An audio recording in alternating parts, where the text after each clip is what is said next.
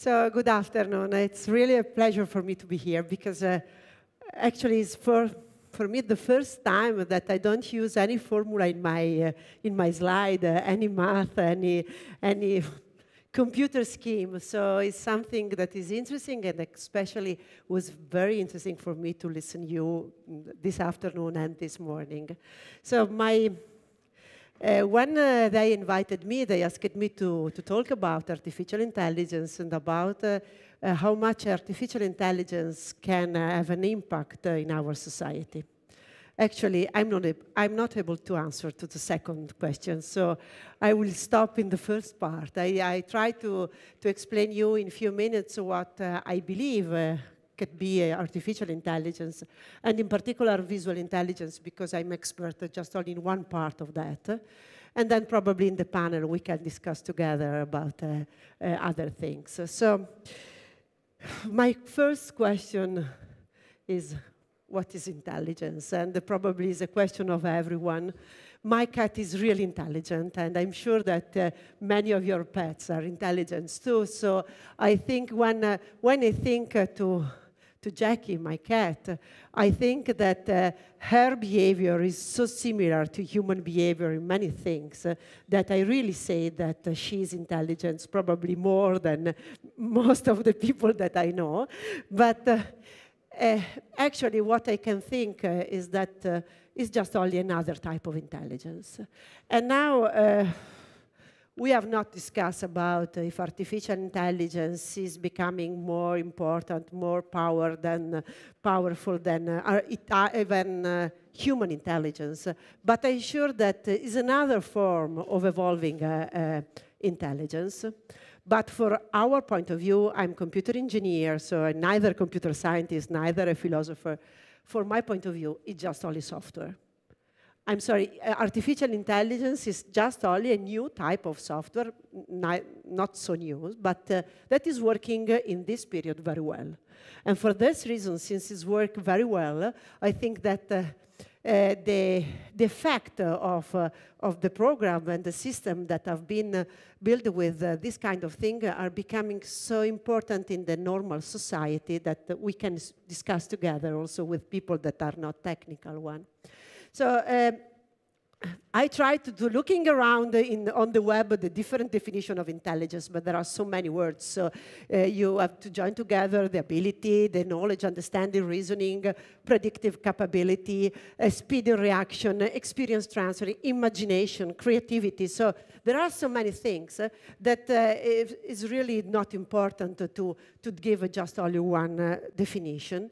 But uh, I would like to spend one definition probably from my point of view only in the visual intelligence. I'm working uh, in something uh, that is called uh, not artificial vision, but computer vision. So just only the possibility to create a machine that have a, a visual behavior, so that are able to understand the world by images and by video in a similar manner of uh, many biological systems are doing. So I don't want to spend uh, words about uh, this image that I'm sure that many of you can recognize. Uh, uh do you know what is that? No or oh, yes? Probably young people don't doesn't know that uh, this is a part of uh, HAL 2001 Odyssey in the, in the, Space Odyssey, because this was a, part of really artificial intelligence. This is a, a, a, movie that has been done in 68, so, so so many years ago. And when you, you look something like this, so say, there is no intelligence in understanding that this is a person, this is a nose, and so on. But in the movie, uh, HAL, the computer, was able to, uh, to read the lip and to understand what the person, Dave, and the other one was saying, uh, and to understand that they was trying to to, to do something in order to, to switch off uh, the computer, and so he tried to save himself. And uh, in this case, we can say that this machine is intelligence because he was able to predict something uh, using the sense, uh, and in this case, using uh, vision and not uh, audio sense because audio was not switched on. And so intelligence use sense as input, use memory, use the brain, and put together in order to to, to do something, in order to understand something and probably to do something. So uh, let's start, of course, by, by eyes. Uh, there are, we need eyes to do visual intelligence, not only, but there are so many eyes around the world.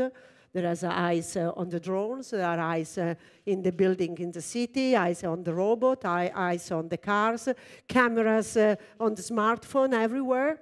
So all of them are possible source of data uh, that can be processed together. And after the eyes, of course, we need the brain. This is something that for me is very interesting. This is a part of uh, the lesson I do at the beginning in my course uh, uh, in Modena at university. That if you think about uh, our brain, and in particular our cortex, because the visual intelligence is uh, mostly made by cortex, our visual cortex takes about the 30% of the neurons that we have.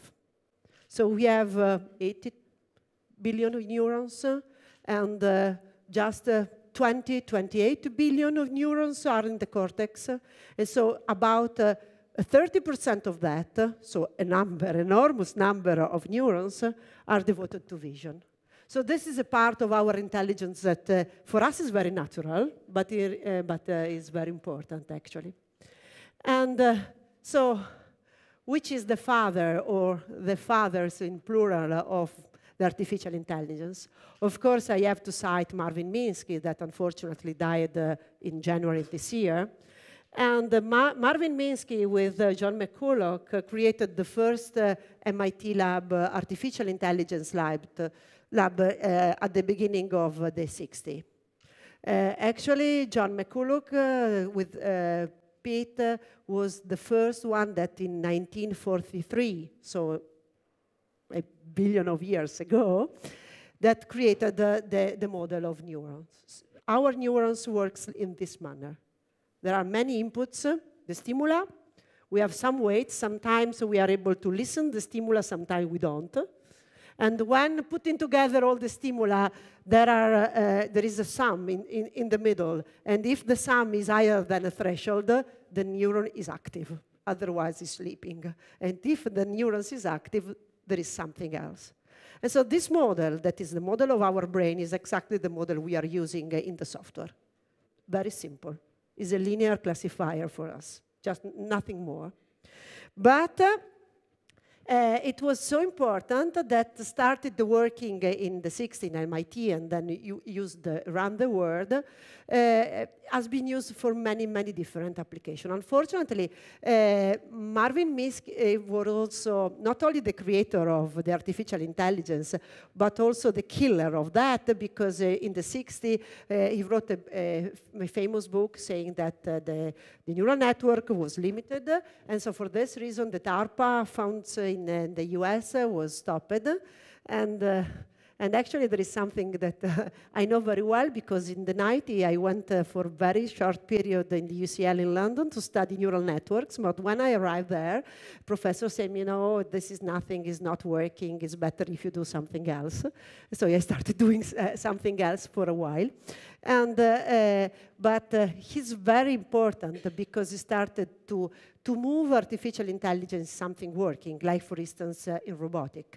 This is an arm that has been built in 1968 that was able to move a ball and to catch a ball and just, uh, of course, uh, a very initial prototype. Uh, the MIT is always, for us, the impo most important lab in this case, and I would like just only to, to show the face of uh, Sandy, of Alex Pentland. Uh, he's uh, the, the head now of one of the lab in, in MIT, and for, for us it's very important because he worked a lot in computer vision and pattern recognition. For instance, he's the one that is one of the the inventors of the, uh, of the eigenvalue that is one of the most important method that normally is used for face recognition. And so it's something that now is used everywhere in face recognition, and it's come from his lab. Now he's moved in many other things. Uh, I have no time, but uh, I think that this is uh, very important. And now in this period he's working on global intelligence, because uh, one specific things that uh, make the difference between the artificial intelligence and our intelligence, and that uh, this software can be connected.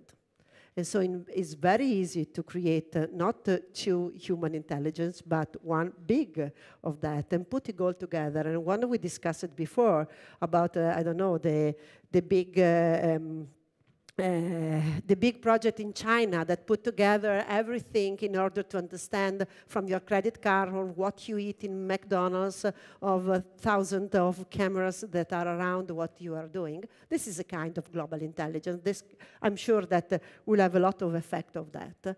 But now I would like to spend the last 10 minutes uh, just only to talking about little intelligence, so just only something that is related uh, to what we can do uh, with video. And because now this is very important. Uh, it's very important for uh, many applications. It's important for our industry. It's important also in Italy because uh, in Italy and Europe now there are so many companies that are working in one of this area. Like for instance in automotive, in sport entertainment, in consumer, in medicine, and uh, I don't know, in robotics, in video surveillance. I don't know if uh, this is mm, this is, a, for instance, is something that now we can do is uh, this is the um, Milano Gallery. And what uh, we, we are doing with uh, some people in Milano is to understand uh, the social um, uh, interaction between person and to understand, for instance, if there are people that uh, people are detected, tracked in the, in the time, and if there are people that constitute a family or constitute a group that are working together, analyzing just only this kind of data. This is something uh, that can be done now. But so what can be done now? Look at this example. It's very similar to the one of Marvin Minsky, but this has been done in two weeks or 10 days by our student uh, in the lab uh, in September because there is a, you can have all the building blocks to put together. So you can uh, learn, uh, you can teach uh, one robots like that to, to interact with the person, to give the person this kind of object. So this is something that now is not uh, something fantascientific, is very uh, easy to do. So another example of what we can do, just to give us a, a little of publicity of what we are doing, is something to understand uh, the behavior of people. This is something that uh, we presented uh, one, two months ago, and now probably has been uh, read by some journalists around, around Europe. In, it's something very simple. You can just only measure my kind of motion with hand, with the body, understand if, the, if uh, one, uh, you are talking about some uh, sensi sensible things, you change your behavior, um, probably in unconscious manner. And, uh, uh, but everything uh, that I, I explained until now is not real intelligence in the sense we are discussing. Probably Jean LeCun, Yann LeCun and, uh, uh, and Fei Fei Li are the two most important uh, person that uh, changed the, uh, the visual intelligence a lot. Yann LeCun uh, is now director of Facebook Artificial Intelligence Lab in, in, New York. He's professor at New York City and was one of the first with uh, Yoshua Bengio that uh, created uh, that kind of structure that you can see there that is the convolutional neural network. So you can put together um, one million of neurons uh, in a sort of layers and to understand and to use that uh, and to program that in order to do a simple uh, topic, like for instance, in this case, to recognize uh, the OCR to recognize a number of uh, number plate. This has been done uh, in 1995, but it was neglected by, by a research um, society and the research community until uh, uh, Stanford arrived. Fei Fei, uh, she's, uh, she looks uh, an Italian woman because uh, she's married with Silvio Savarese, this is Italian, and also she's speaking Italian very well. And she's a director of the Stanford Computer Vision Lab, and uh, uh, she spent uh, an enormous amount of money in, 19, in seven years ago in order to create the biggest data set of annotated images that is called the ImageNet. So this ImageNet now have a billion of images with everything annotated. This is a chair, this is a lamp, this is a floor, in order to train uh, systems, software, to understand what is in the images. And in fact, now the results are incredible. This is a result uh, of uh, Marc'Aurelio Ranzato, another Italian that is uh, in Facebook AI Lab in New York. And uh, uh, what you can say now is that the um, software, I don't want to call this artificial intelligence, the software is able to recognize uh, people face in the wild, so with overlapping with hidden parts and on, better than humans in, uh, actually in this, uh, in, uh, two, two, years ago was as a human. The human are the black and that one are the red, now better than human. So we can say that for this field, uh, uh, the, the, intelligence uh, made by computers is probably better than what we are doing. Another field, this is a follow-up of the ImageNet work in Stanford, but is not used only in, Stanford. This is Microsoft Research last year. With this uh, very deep network, uh, what you say, uh, uh, every block you can see is about uh, thousand and thousand of neurons put in together, so probably more than thousand because all of this is um, many millions of neurons that are able to recognize the object. Like, for instance, this is an helmet, this is a person, this is something. So there, you can think about how many applications you can have about that. Now this is a system that is working, it's not just only a, an exercise, and, uh, and is working in many different fields. Uh, you probably you cannot see, this is something we are doing uh, in Modena, is, an, is a prototype that is called Neural Story, we are doing this with uh, RAI, with the Italian broadcast, in order to understand the content of the video and to, to create story about that. So to understand that in a long documentary, there are camels, there are mountains, there are something, in order to improve uh, the, the possibility to, do, to, to index and to search in this kind of data. And this is something very new that uh, uh, not only our lab, but many labs are doing, that is called video captioning. So trying to explain what is that, what is in, in a video. Like, look at that one. This is a video. I don't know if uh, it's working or this is another one. And uh, so uh, these are five uh, sentences that have been done by humans. So they say, okay, there is a woman is riding a horse, or a girl is riding a horse, or something like this. And uh, we, this is something that uh, the, the deep learning system is able to, to find, to say, okay, here there is a woman is riding a horse, or here there is a person that is cutting a potato. Probably is not able to recognize that it's a woman, but it's just enough. Mm, this is not exactly working perfectly. There is a lot of things that uh, is not working, but I'm sure that in a few years uh, this should be something that uh, you will use in every, for instance, this is another example, more difficult, but uh, there is something uh, that you can do. I'm closing my presentation, uh, switching in another part because I say, okay, uh, visual intelligence is useful for humans, but is useful also for cars. And uh, automotive now has become so important in my university because we are in the department of Enzo Ferrari and we have to do something about it. But not only for us, uh, but uh, in general, you know that uh, autonomous driving is become important. I don't work in, uh, in, automotive, in autonomous driving, but I'm more interested in understanding what the driver is doing. and so to study the attention of the person and to help person to, to to drive better in such a manner or in semi-autonomous driving. And so, for instance, uh, what you can say there is uh, what a person normally see, uh, uh watch at, uh, where is the attention of a person when he's driving. and this is, has been done with eye tracker, so with some cameras putting on uh, near the eyes in some glasses. And, and actually, cameras is is able to understand. Uh, what you can say that uh, is uh, not uh, has not been done by humans, by the system, that try to uh, emulate our behavior while driving. And what you can say that, uh, different color, is what the network is able to recognize. Is able to recognize that there is street, there are cars, there are persons, there are know, sky, trees, and so on, and, and to try to understand something about uh, what is uh, around.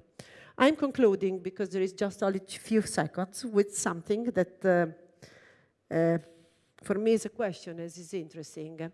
Sometimes I was discussing with some of you before, even us, uh, we don't know uh, very well what we are doing. So we try to, to do something for a project, for a scope, for a but sometimes there, is, uh, there are some uh, interesting side effects. This is a story of a few weeks ago, so it's something that uh, is very new also for us. We are working about uh, the understanding uh, the behavior of person and the gaze of person driving. So where you are looking and what you are looking. But normally in the car there are many problems. There are lights, condition changing. BMW had a, a, license about that, about since 10 years, but it doesn't use because really there are many problems in real cars. So we are using depth images, like that one. You see, it's a, it's a depth image, is, uh, uh, is more uh, black if it's more close to you, so you can understand that. And so um, we are using uh, a special architecture uh, with uh, some millions of neurons in order to understand when you are looking. And so we created this kind of net. But what was really funny or interesting is that uh, the, the, the, the, system, the deep, uh, the convolutional neural network, learned the face of the person. So in such a man, uh, this uh, I think is a spectacular side effect because in uh, uh, we have this kind of images as an input, and in one level of the nets, uh, we discovered that he created this uh, idea of the person. So the, probably you can see better in, in is, is something like the, car, the um, deep learning system um, is able to create a mental image of uh, the face of the person that can have or could have this kind of three dimension. And uh, these are a funny example. These are the input for the net. So just only three-dimensional information. This, uh, look at them. These are the 3D images of this kind of people. Uh, of course, someone uh, with uh, uh, with glasses, uh, with uh, hat, and this is something that the the net create we, these are examples that the, the, image, the system uh, didn't receive before. So this is a, a, a, mental image that they have. Of course, sometimes is, correct, sometimes is not. We need, in order to, to use that, we need an enormous amount of data, big data, if you want to call that, uh, is the word that uh, I don't like it, but so you need a lot of data, and uh, you need a lot of power. So for, for us, uh, for instance, GPUs or uh, supercomputers, if you want to call them in this manner, are very, very important. But if you have the computational power, and especially memory more than computational pow uh, power, and you have data, uh, the system now um, is a fact that they are working. And so uh, concluding that uh, just this is an example that you can see, that is something that the, the the deep learning system was able to learn. So I'm concluding with uh, these uh, images that uh, uh I copied from internet, as uh, most of us uh, normally is doing. So this is one of the sites about the trend of artificial intelligence. Okay, I say seven trend of artificial intelligence, deep learning, okay, is a technique, is a technique like the other one, is not more important than the other, but now is working. AI replace working workers, probably, but it's true, but probably they make other workers more happy, for instance, computer scientists or computer engineers. So this is something that uh, is true. We have to discuss about this. There are uh, IoT, intelligent uh, Internet of Things, uh, not only Internet of Things, but Internet of Intelligence things will be the future, of course. Emotional understanding, I had no time to discuss about that, but this is another problem uh, very interesting for us, to understand the emotion, to understand the uh, something that is uh, less uh, uh easy to, uh, to understand from images, from video, and from other sense. AI in shopping and customer service, a lot, a lot of work in retail about understanding the behavior of the big spender, of the not big spender, in order to, to understand how made them uh, spend better. The problem of ethical question probably we will discuss in a few minutes, so this is important. And this, the last one I would like to put, uh, the problem with gender representation. I say, what is the problem of representation? But it's true. This kind of uh, artificial intelligence system learned by data. But uh, ha uh, as we discussed 10 minutes ago, who is the owner of the data and who is the one that give the data to the machine. In general, men now, because most of the computer scientists are men. So this kind of uh, network are becoming to have a brain like a man brain. And it could be good or not, it depends. But there is a problem, not, there is not only the gender problem, but in general. If the data uh, um, are provided by the ignorant person, of course the, the, the, the, system will be ignorant. There is no, no chance about that. So we have to discuss about that. I think that we will have the, um, the panel in a few minutes. Uh, and if you want uh, to ask me something or to discuss with me in the future, I'm happy to do. Thank you.